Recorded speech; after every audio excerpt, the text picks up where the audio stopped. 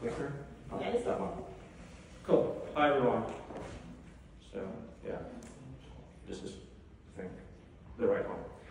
Yeah, cool. So I'm Dmitry, founder and CEO at Emma. Emma means like not the lady's name, but in our context it means Enterprise Multi-Cloud Management Application. So we help companies to manage the different cloud environments, reduce the complexities, alongside the, the, the bills, the egress costs, but mostly complexity. And today I'm not like preaching the, the, the idea of our product, but we want to tell you that there are no happy paths, no happy scenarios to, to reach the cloud value. So how it normally exists right now on, like, on typical enterprise or typical market, we have a different sort of a cloud. We have private clouds, sometimes like mainframes, like these big mainframes uh, we just saw. Uh, sometimes we have public clouds in use, mostly for the cloud native guys. that never had these mainframes and have been investing in, in this like hardware, servers, switches, racks. They decided to build everything on the scratch out of cloud because of the fancy technologies, because of fancy applications. But the bigger guys, like the majority of you, uh, you realize that okay, there is there's a cloud thing like in public cloud managed services applications. There is private cloud that we have here, but maybe we can connect our private cloud to the public cloud and do the like rollouts when we need that. And that's how the like hybrid cloud appeared, right? And then we we we acquired some someone one one day, let's say the other company, the smaller one, cloud native, different provider, different geography, and we ended up in a multi-cloud environment, right? So normally this this path of a companies from being on-prem to being back on-prem starts with with moving into the cloud. So okay, there's like a fancy thing. Let's try to move into this fancy thing.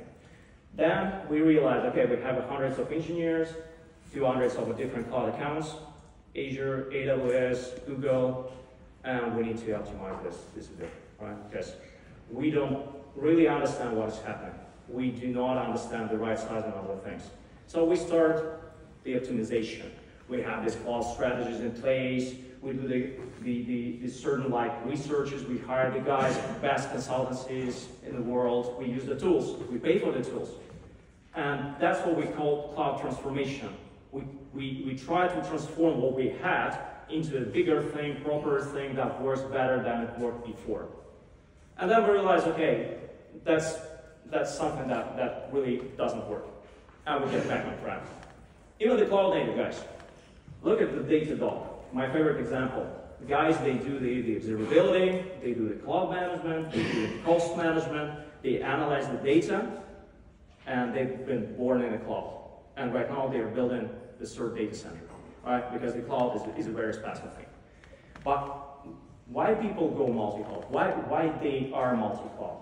Because when you use the different providers, you have access to tons of the different services, tons of different applications, and you can test your hypothesis faster. You can deliver your products to your end users faster. You can streamline this time to market thing.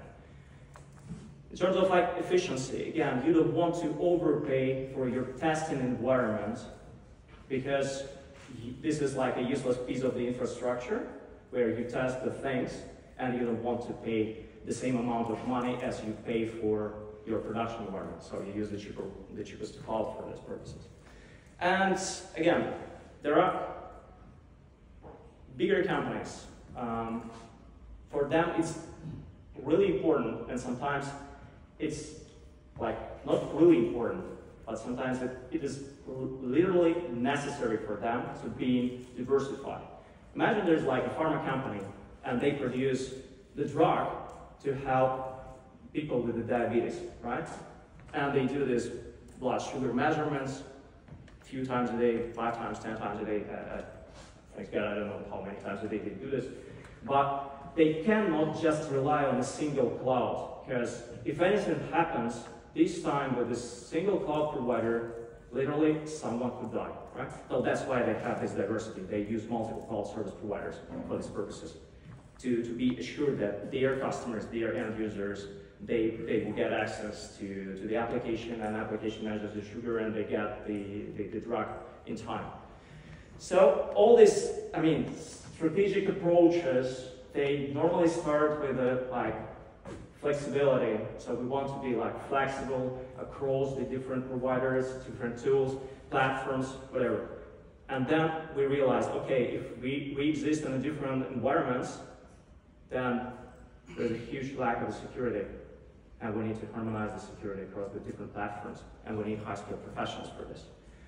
And then it comes to the cost optimization. So it's too expensive, security, egress, high-skilled professionals, right sizing. I mean, it's too expensive.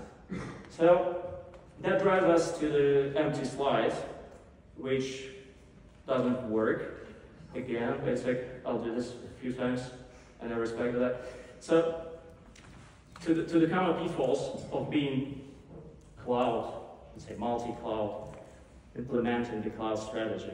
And I like that because I had a number of conversations with, with different companies, and what we, we quite, quite often hear is that, okay, we need to imply the, the, the cloud strategy. But what for? What for are you implying the cloud strategy? Why? Because of what? Because, because the cloud itself, no, that won't work, right? So you need the specific reason why you go not only multi-cloud, but let's say cloud, right? You should combine the different like approaches and mostly stay all the time agnostic. I'll skip the next slide because it will be another like five bullets that I need to click on that. But in a nutshell, I don't like this, this huge slide. So in a nutshell, I summarized that in the long story short slide. So look, more clouds really mean more complexity, right? So you have different clouds and you need to be like an, an expert there. Uh, if you look into the landscape of a cloud service providers, only from the perspective of the cost management tools that they offer, AWS, Azure, Google, you need to be like five times certified engineer to understand, even to understand how they measure the utilization of the underlying resources at their platforms. And they're quite opposite. Even if you go to AWS, if you, even if you, if you want to, to get a clue how the egress charges really work with the direct connects, direct links over the internet, I mean, it's like you need to scroll the page five times down the bottom to realize how they calculate that. At, at the end of the day, you, you would understand nearly nothing. So, on top of that, again, security more clouds, complexity, security, high-skilled professionals, and on top of that you have different bills, different agreements, different zones of responsibility, and a huge gray area where no one is responsible for nothing. At the end of the day, when you have a problem with your like connectivity between your private and the public cloud, you reach out to the to, to the guys out of AWS and they tell you, and we, we, we as, a, as, a, as a vendor, we have this problem right now. We're reaching out to AWS and we tell them, okay, look, we have a direct connect to you guys, and we cannot get 100 gigabits per second. And they tell us, okay, it's not a problem of AWS because you have a port and this port is 100 gigabits per second. That's the problem of a router. And the router is Cisco, and we reach out to Cisco. Okay, guys, so router doesn't work. We need 100 gigabits per second. And they tell us, okay, it's not a problem of a router, it's a problem of a provider. And you're like, really? Or maybe you engineers and we're like, okay, let's set up, set, set up the demo environment, test everything. We've spent nearly a year testing 100 gigabit per second interconnects between the providers, Azure, AWS, our own environment. So literally, it, it, it's a huge startup, right? And nobody is responsible for nothing. And when you try to eliminate this complexity, when you do this sort of optimization, transformation, you name it, you realize that you're implying even more of this complexity. Because imagine there's like a customer, and the customer has a direct connect to Azure using the, the fancy tool, Alkira, one of the best networking companies, love the guys, so really cool guys. Uh, so they have the direct connects to Azure. Also, the customer has a direct connect to the Linux to, to the VMware environment that the customer has. On top of that, of course, we have the automation. Ansible, Terraform, Pulumi, whatever to automate the deployments. and different deployments, containers, clusters, applications, legacy into the cloud environment.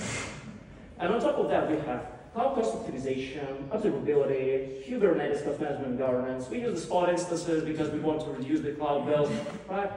And the data Datadog as we want to export the data and reflect in the fancy dashboard to approve our, let's say, next year budget with management. What's that? It's way too complicated. And what we do believe makes sense when there's a single, like multi-domain platform that exists that actually leverages the network underneath of this solution. On top of that, provides the ability to automate the deployments, automate the things. On top of that, it should have the logging, the API, powerful API, so you know what you want to import, export, how you, it, it can help you to interact with the platform however you want. And on top of that, these platforms or that platforms, they should support the different services that exist on top as an overlays on the cloud service providers. Because the cloud service providers, we do believe right now are turning to be the commodity, like electricity, internet, whatever. So we, we don't need to be that, I mean, inspired with the cloud service providers itself. They work to make your application up and running. So in this sense, you should leverage the providers like the commodity to deliver the happiness to your end customers. And important thing, I heard it uh, at, the, at the presentation before myself, we should remember every time that there's no cloud, right? It's someone else's computer. So we use the servers, even with these fancy technologies like lambdas, functions, is the computers underneath of, of, of, it. And we are building the layers of abstractions, then we equalize them, then we build another layer of abstraction, which is way too different from, from the one that we had before, way too complicated. Then we try to equalize this layer of abstraction. It happened with, I mean, it, it's been happening all the time since the beginning of the technology, since like internet. We put different networks, then we built TCP IP to unify this network. Then we built the browser to, to help people work with the internet. Then we've built the clouds, and right now we are equalizing the clouds. So again, in a nutshell, it's just the computers. So that's basically it. My 20 minutes is over. Thank you very much. It was a pleasure speaking. Thanks.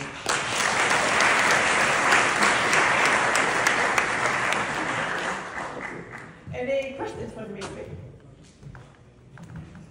Oh, okay, I'll, I'll be I'll be there in case of any questions. We have a booth, table, whatever, so feel free to reach out. I'm happy to.